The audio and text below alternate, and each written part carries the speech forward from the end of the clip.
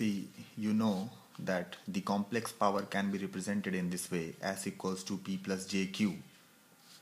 Suppose I want to write the per unit value of the apparent power. So the per unit value of the apparent power can be written as S actual divided by S base. It will be equal to S base. So the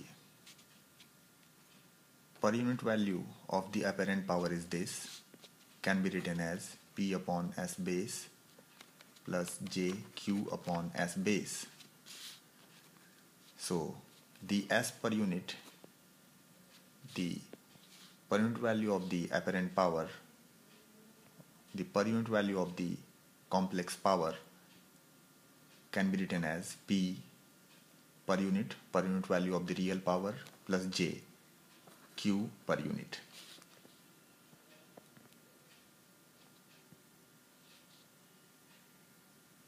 See here, if you want to write the value of the per unit real power,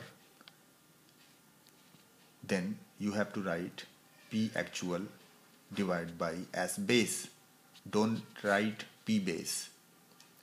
If you want to write the per unit value of the reactive power, write actual value of the reactive power divided by S base. Remember this.